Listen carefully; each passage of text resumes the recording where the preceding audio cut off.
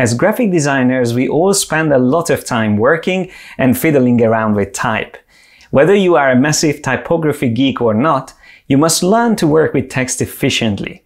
In this video, I will share 20 essential shortcuts and techniques with you that will make you type and format text like a pro.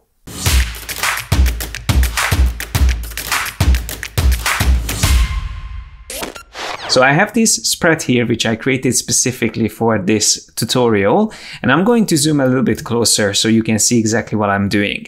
By the way, I will be switching back and forth between layout or normal and print view. So that's the W keyboard shortcut in InDesign.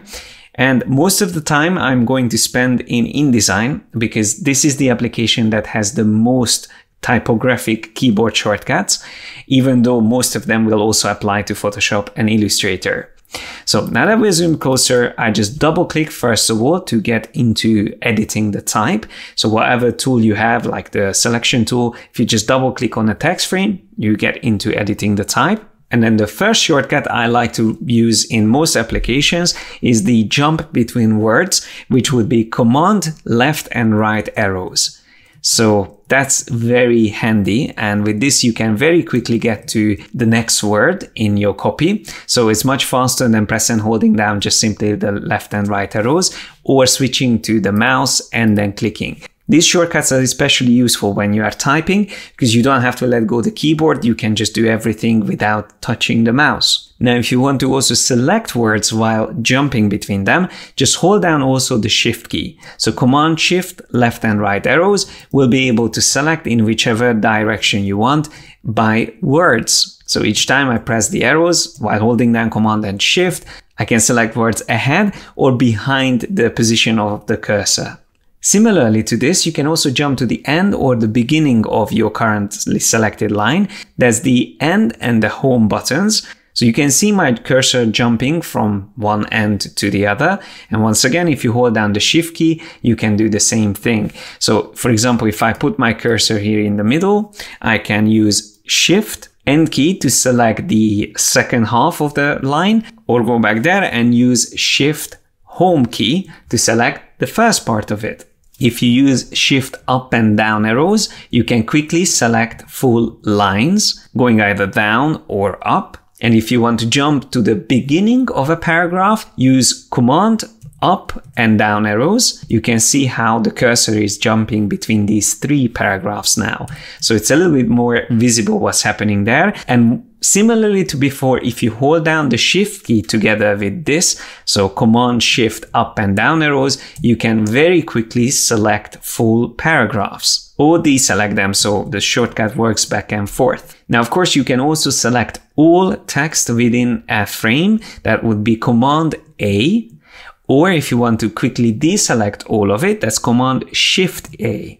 You might prefer to use the mouse, even though this tutorial is about keyboard shortcuts. There's actually a couple of things you can do with the mouse, which can help you to select text quickly. So double clicking would select a word. Triple click will select a line. Quadruple click, so four times clicking, selects a paragraph. And if you're crazy about clicking, you can also click five times in a row to select all the text within text frame or the whole story. So one, two, three, four, five. And that will select the whole story. Now it is worth mentioning that for InDesign you actually have a separate story editor or text editor and that's again a useful shortcut. So whenever you are working with text, let's say I have a word selected here, if I press Command Y, it opens up the story editor. And not only that, but it also keeps my selection visible. Similarly, if I select something here and press Command Y again, it jumps back to my layout view and keeps the selection there once more. The cool thing about the story editor is that it will even be able to show you the overset text. So here you can see I just reduced the size of my frame. If I now press Command Y, I can see not only the text that's currently visible in layout view, but also the text that's overset.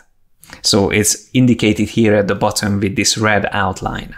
In layout view, you only see the little red cross at the bottom right corner, which is called the output point of your text frame. Another handy shortcut if you quickly want to see all the text, just double click at the bottom center point of your frame and voila, it came back. So now that we covered the basic shortcuts for navigating and selecting text, let's move on to formatting text. Now the first one and one of the most obvious ones is to change the style of your text. So this font, for example, Montserrat, supports lots of different variations. Now currently you can see that I'm using semi-bold, but to quickly reset it back to regular, and that's one of my favorite shortcuts, is Command Shift Y. So that's whatever font you have will always set back to regular. So clears any additional formatting. If you want to add, let's say bold, just use Command Shift B. Command Shift I would be italic, which also preserves the original bold. So now you are adding these additional formatting. So this is bold italic. If you want to also add underline, that would be Command Shift U.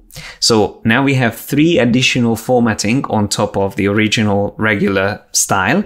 And once again, if I use Command Shift Y, it resets everything and just keeps the original regular formatting. Similarly to these shortcuts, you will also have to hold down Command Shift, but use other keys to change the alignment.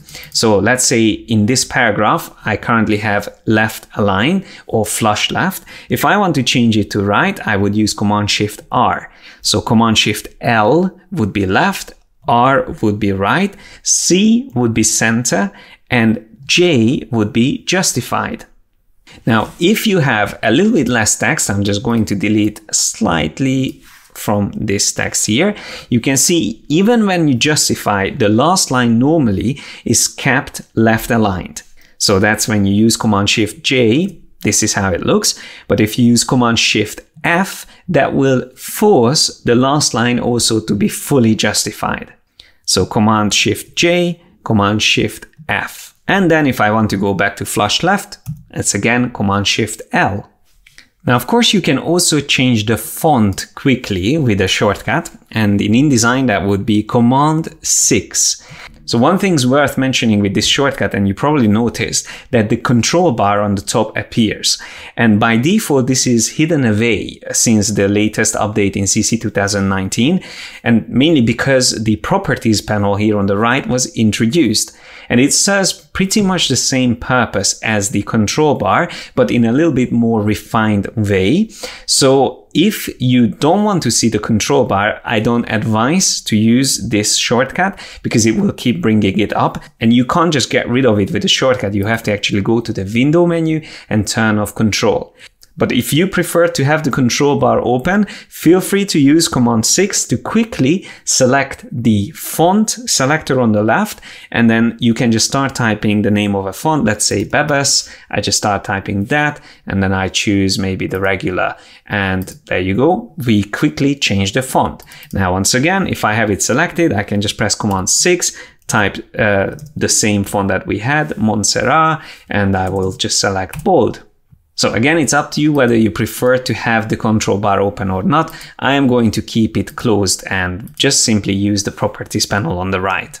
Hopefully this shortcut in the future will be updated to work with the properties panel as well. Now let's move on to something very important and that's to change the size of the font or the text that you select. So for example, here I'm going to select the main uh, word or title traveling and I'm going to just double click on the word to select it. Now to change the size it's command shift and then the less than greater than signs or full stop and comma. I prefer to remember it as less than greater than signs because that's how I'm changing the size so it's getting smaller or bigger. This is really useful because you can very quickly change the text size on your current selection without changing the text frame. But if you want to make make this faster, you can also add the option key and then it will go much faster. So it's a higher increment that you're using. I think it's doing it five times faster. So let's just see once again. When I'm by default using the shortcut, it goes two points at a time. If I hold down the Alt key, it goes 10 points at a time. But if you want to change the increment, you can go to the preferences in InDesign and here under units and increments, you can actually specify the shortcut So whenever you use this decrease or increase size shortcuts, this is the increment that will be used. So the default is two points, but you can set it to whatever you want. And the same setting will also be applied to changing leading, which I'm going to show you in a second. But while we are here, you can see there's a couple of additional things that you can specify. So if you're planning to use more shortcuts to work with type, I highly recommend to check these settings out. So to move on, let's talk about a couple of shortcuts to change the case of your text. Now this will only work if you have the original text written with lowercase or sentence case. If you force typed with caps lock on, for example, like this text here, it's not going to work. So you have to make sure you type in normally, and then that text you will be able to set to all caps, for example, by using Command Shift K. And the same shortcut will work back and forth so you can switch to lowercase or sentence case. So for example, like that. Again, I can switch back and forth between uh, by using Command Shift K. It works in Photoshop as well. Unfortunately, the same shortcut by default doesn't work in Illustrator, but you can customize the shortcuts and then it will also be universal and you can use it in all of these applications. If you ever need to customize shortcuts, you will find that under the edit menu, keyboard shortcuts. So all the Adobe applications has this feature and you can fully customize everything. Now, similarly to all caps, you can also use small caps. That's Command Shift H and you can see the difference between a normal cap and a small cap character. And again, it's a toggle, so you can switch back and forth. Again, Command Shift H is the shortcut. Then with Command Shift plus sign, you can turn your text into superscript or Command Option Shift plus, you can turn it into a subscript. So when is that useful? For example, if you want to add an index number, you just select it and then Command Shift plus sign. Another handy shortcut to remember is check spelling. So for example, here I have a word that I spelled wrong intentionally. By the way, the rest of the text is just using the placeholder copy. So don't try to read it. It doesn't really make much sense. But if I use Command I, I can quickly get the check spelling option for the selected text. It can be a single word or it can be also a full text frame. But in this case, I can see already the suggested corrections. So journey, that's what I wanted to use. So I can just say change and you can see it's updated and now I can just say done. So that's a very quick and useful way of checking your spelling while you are working in these applications. And that's what we had time for in this first video. So these were more like basic shortcuts. In the next part, I'm going to cover more advanced shortcut techniques, again, for working with type. And if you want to learn more in general about InDesign, Illustrator, and Photoshop, I highly recommend to check out our masterclasses where I go into way more detail in everything, not just on type, but pretty much everything else that matters if you want to work professionally and efficiently with these Adobe applications. Let us know in the comment section what would you like us to cover next time on this series. Click on the link in the description or the join button to become a member if you want to work on future projects with us and see the whole design or illustration process live. Thanks a lot for watching, like and share this video if you enjoyed it. Have fun learning guys and I will see you in the next one.